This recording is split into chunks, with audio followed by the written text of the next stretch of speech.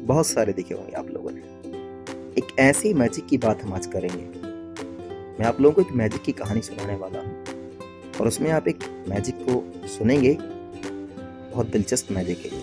चलिए शुरू कर दें एक बार क्या हुआ कि मैं एक मेले में गया और वहाँ पे देखा कि एक जादूगर आया हुआ है। और वो बहुत सारे मैजिक्स की ट्रिक्स वगैरह अपनी शो कर रहा है। तो मैंने भी सोचा कि चलो मैं भी टिकट लेकर के देखो, क्या करिए? जादू करता कैसे है? क्या ख़ास बात है इसके जादू अंदर गया, टिकट लेके अंदर गया पब्लिक के ऑडियंस के जो कोर्ट था वहाँ पे जाके मैं बैठा। तो उसने जादूगर का जैसे ही प्ले स्टार्ट हुआ स्टार्टिंग में तो सिंगिंग वगैरह होती है, कुछ लेडीज़ वगैरह आती हैं डांसिंग वगैरह करती हैं। तो जैसे ही प्ले स्टार्ट हुआ, उसने टेक्स्ट दिखाना शुरू किया तो उसमें एक कॉमन थिंग हो रही थी। वो क्या करता था कि एक प्ले उसने करा या एक अपने ट्रिक दिखाई, उसके बाद उसके साइड में एक कलश रखा हुआ था। और वो कलश का सारा का सारा पानी, एक नीचे एक टब रखा हुआ था। उसमें उसके जो भी हो जिसको वो मानता हो, गॉड वगैरह जिस भी जो कुछ भी हो, जिसकी वजह से वो ये सब कर पा रहा हो, उसके ऊपर पूरा कलश उल्टा कर देता था। तो जितना पानी था वो सारा का सारा गिर जाता था, एक प्ले में।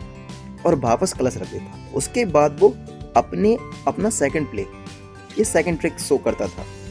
जैसे ही सेकंड ट्रिक खत्म होती थी, वापस कलश उठाता था और फिर वो कलश उसमें उल्टा कर देता था अपने गॉड के ऊपर जो भी जिसकी वजह से वो ट्रिक सीखता है या जिस, जिसको वो ये बिलीव करता है कि भाई ये मेरा हेल्प करेगा ट्रिक में गॉड बोल सकते हैं आप जो भी बोल सकते हैं डिवाइन पावर जो भी हो।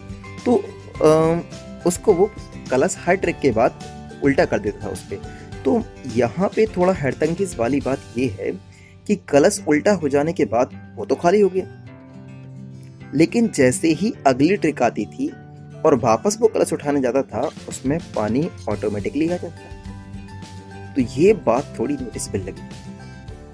हाँ वो ट्रिक दिखाने वाली बातें थी, वो भी समझ में आ रही थी बट ये कलश की जो मैंने देखा कि हाँ उसने हर एक्ट के बाद ये कॉमन चीज़ कर रहा है तो ये कलश वाला ज़्यादा मुझे इफ़ेक्टिव लगा। तो ये कैसे हो रहा था? मतलब एक बार वो सारी कलश को उल्टा कर रहा था, पूरा का पूरा उल्टा पब्लिक के सामने करके दिखा रहा था और वापस रख रहा था, उसके बावजूद भी उसमें वाटर आ रहा था। कहाँ से? एक ट्रिक खत्म होती थी, वापस वाटर आता था। एक ट्रिक खत्म होती थी, वापस वाटर आता था। ये होता कैसे था?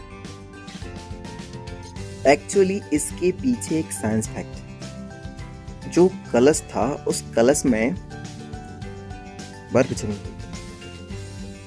और वो वर्क क्या होती थी कि जैसे, जब तक वो ट्रिक करता था तो उस उसके ड्यूरिंग, उसके टाइमिंग में वो बर्फ़ पिघलना शुरू कर देती थी। जितना टाइम उसकी ट्रिक में लगता था, उतने टाइम में वो पिघल करके पानी बन जाता था। और जैसे ही ट्रिक खत्म होती थी, वो जा करके उस कलश को उल्टा कर देता। अब उस कलश के अंदर तो बर्फ़ थी। इसीलिए जो बर्फ़ सॉलिड रहती थी वो उसी में रहती थी और जो जिसका जितनी वो मेल्ट हो गई जितनी वो पिघल गई है उससे जितना पानी बना वो नीचे गिरता गिर जाता था। इस तरीके से वो ट्रिक अपनी शो करता था। तो यहाँ पे एक साइंस फैक्ट था कोई मैजिक नहीं था। एक्चुअली यहाँ पे एक साइंस फैक्ट था। तो दोस्त इतना बोलना उम्मीद है आप लोग समझ गए होंगे कि दुनिया का हर जादू साइंस से जन्म लेता है और हर जादू के पीछे एक साइंस होती है। ज़रूरत होती है उस साइंस को समझने की उसके लॉजिक को समझने की। तो अगर ये वीडियो आप लोगों को अच्छा लगा हो तो प्लीज़ इसको लाइक कीजिएगा और अपने फ्रेंड सर्कल में उसको शेयर करिएगा फैमिली मेंबर्स में शेयर करिएगा। और अगर इसमें कोई डाउट है तो प्लीज़ कमेंट बॉक्स में टाइप करिएगा, मैं कोशिश करूँगा कि आपके डाउट को क्लियर कर सकूँ।